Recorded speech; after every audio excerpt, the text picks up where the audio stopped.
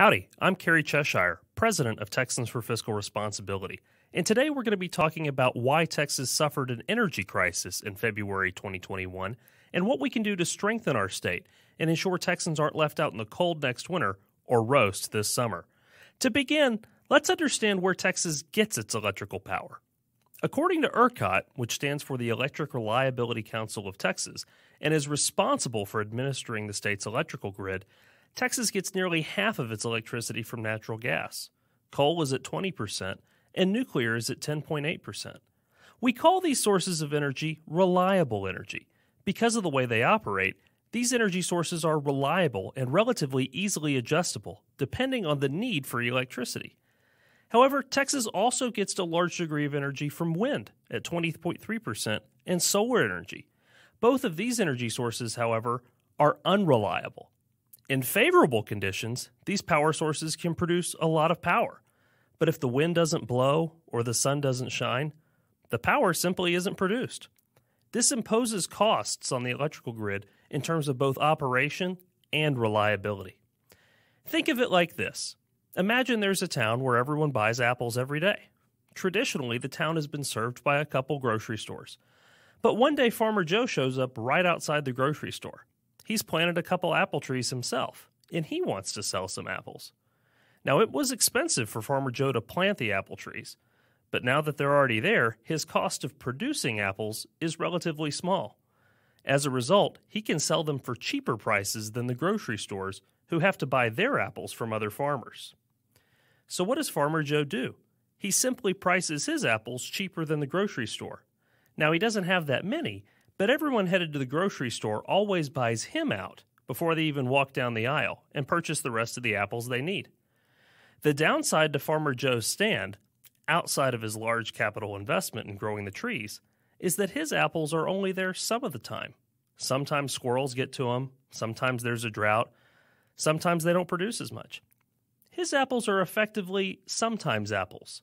They're a lot less reliable, and folks can't always count on him to provide them with the apples they need.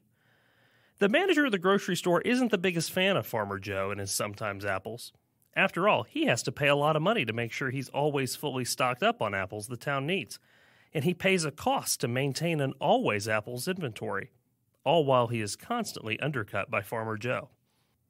Meanwhile, there's a group of hippies in the town who say Farmer Joe's apples are better for the environment. That rather than buy apples from outside the city, the townsfolk should have more homegrown apples from stands like Farmer Joe's. They convinced the city council to give tax breaks and incentives to Farmer Joe so he can plant more apple trees, all while increasing the costs on grocery store managers. They're relatively successful, and over a few years, Farmer Joe has planted more and more apple trees. He sells more and more sometimes apples. But these sometimes apples are always sold cheaper than always apples, and so the grocery store managers who are missing out on sales are even less happy. They're losing out on sales and they aren't being rewarded for maintaining inventories of apples in case of a shortage. Some of them decide not to expand their apple storage facilities. Others decide to close down their grocery stores altogether rather than continue competing against subsidized competition.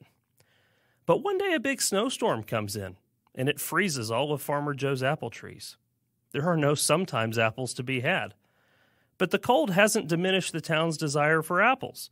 In fact, even the town's long haired hippies want more apples than ever so they can make hot apple cider and apple pie and other things to keep warm.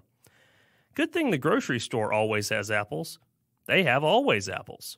And so these hippies and everyone else in the town rush into the store and they buy out all of the always apples he has. But there aren't enough. The grocery store manager is happy folks are buying apples, but he notes that maybe if they hadn't provided so much in terms of subsidies to Farmer Joe, he might have been able to expand his inventory and have enough always apples for the town right now.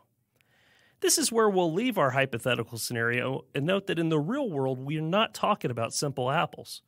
We're talking about electricity, which not only powers our TVs, computers, and modern convenience items, but also life and death necessities like oxygen generators, heat, and other items. The senior citizen home can go without apples for a week in January or July, and they'll probably be okay. But can they go without heat or air conditioning? Not as easily. So, what can we do to strengthen our grid and generation capabilities and make sure events like what happened in February of 2021 don't happen again. One thing we can do is end state subsidies that flow money to unreliable energy. Chapter 313 and Chapter 312 tax abatements are often given to unreliable energy providers by local governments, distorting the market and exacerbating problems with the grid. Another thing we could do is require all power providers to be at least partially reliable in order to sell electricity through the grid. Going back to our Farmer Joe and his sometimes example, the city could require that Farmer Joe always have at least 10 apples in stock if he wants to sell apples to townsfolk. Another option is to privatize power utilities and take them out of the control of city councils, which often have their own agenda, and make them more responsive to customers and shareholders. While further reforms are most assuredly needed, action by the Texas legislature on these three items ending state subsidies to unreliable power through Chapter 312 and 313, requiring power providers to be at least partially reliable, and ending government control of electrical generation would go a long way to preventing a future crisis. For more information on this issue and other potential reforms to create a better Texas for taxpayers, visit texastaxpayers.com.